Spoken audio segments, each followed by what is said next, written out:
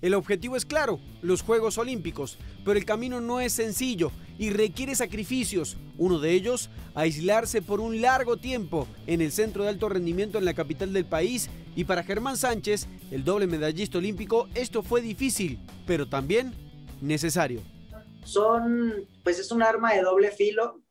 La verdad que en ratitos, pues llegué el sábado, ¿no? Y eh, ese fin de semana me costó, ¿no? Me costó, es la primera vez que me cuesta tanto eh, dejar, dejar a mi familia, en especial a, pues, a mi esposa, a mi hijo, la verdad que soy muy sincero, me vine llorando de, me salí llorando de, de, mi, de mi casa, su casa.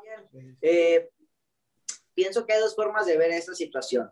En lo personal, yo sé que tengo solo una oportunidad y, y tengo que ser lo más lo más preciso y, lo más consciente, ¿no? Para, para lograrlo. Eh, te puedo decir que he vivido también cosas difíciles, he estado eh, con toda esta, esta problemática de pandemia y todo, he visto lo, eh, cosas, he vivido lo, lo peor. La estancia en un ámbito de concentración es hoy muy necesaria. Incluso para estos deportistas ya inició su proceso de vacunación por lo que en medio de protocolos estrictos pueden sentirse seguros. En lo personal es que me llevo la sorpresa de que está mejor de lo que me imaginaba. Eh, aquí todos tenemos pues de todo en cuanto a recuperación, alimentación. Este, hoy por la mañana estuve en pruebas eh, médicas y todo para pues tener un mejor control de cada, de cada atleta, ¿no? Y súmale a esto que pues estás eh, libre o estás más más lejos de un posible contagio, pues eso te permite estar en una, pues estar más tranquilo. Y claro, tanto aislamiento, tanto distanciamiento trae aparejados otros deberes que no pesan tanto, solo para aquel que ya viene preparado.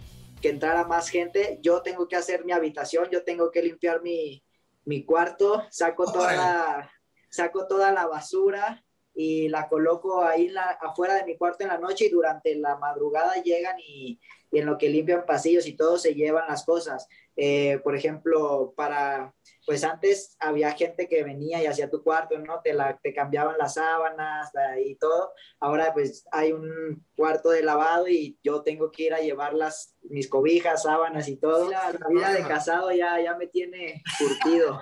ya vas entrenado, ya vas entrenado en ya, es lo de menos.